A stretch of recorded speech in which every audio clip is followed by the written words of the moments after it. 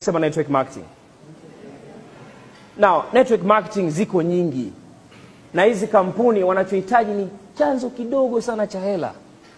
What you just need to do is to develop your skills on how to network with other people. Wenyewe wamesha develop a product tayari.